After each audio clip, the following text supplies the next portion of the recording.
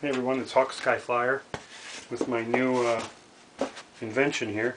Well, okay, it's not my new invention. It's uh, David Windestål from uh, Sweden. This is his tricopter, and pretty much everybody else on YouTube. What I did is, uh, I'm having a lot of fun with this. I only had it built for the last couple days here, and I've been bouncing it off the ceiling, and I kind of bent the pins here a little bit this afternoon, and uh, everything's still working. But uh, what I got is I, I made some basically training wheels that take some pretty good abuse. And uh, basically this is the, uh, the Dollar Tree uh, noodles. This is the, uh, you can see that, just the, the noodle for swimming from uh, the Dollar Tree. And basically what I did is just, uh, I measured where I wanted this, and I actually do have landing skids underneath here that I made from a hanger.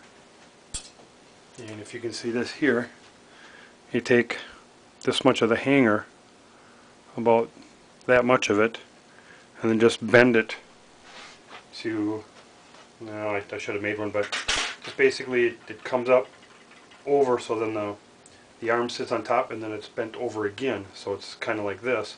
And I just got it zip tied. And then what I did is I measured from the, the board, from the arm to the table here, on how level it is. I just got a nice sharp knife and basically just rolled it. Basically all you do is just roll it. And if you're really good, it'll come out almost clean.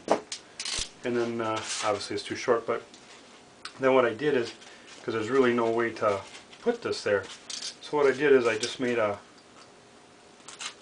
a notch about two blades deep and then just kind of turn the knife one over there cut cut it out.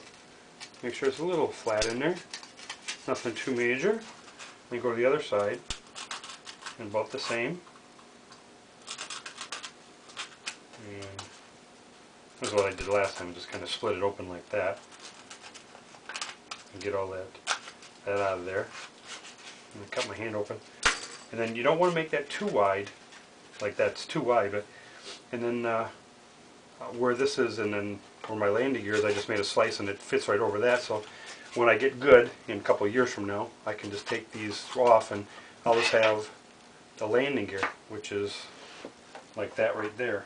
And just you can see part of it right there. It just sits right there. But this right here covers that up so it's basically bouncing off the foam. And it, I haven't had it come off but I just thought well I just zip tied it on here. It's it's loose. It still moves. But um, if you make this just a little skinnier than your arm, a little little shorter, it'll fit in there real snug. It'll snug fit, and it ain't gonna come off. That's one good thing. It, it, it they never came off, and I've been flying it for two battery packs here in the basement. I've been hitting everything else, which I shouldn't be doing. but uh, that works pretty good. And I just thought I'd put a zip tie on and just real. I didn't. I got it squashed but just I think I got it like on the first two or three where it goes click click. So it just kind of just crumples it and it ain't coming off. It's nice and sturdy and they they squash. So I just wanted to make a little uh, video on something like that. So uh, hope that helps anybody like it helped me. And uh, until my next adventure, have a good day.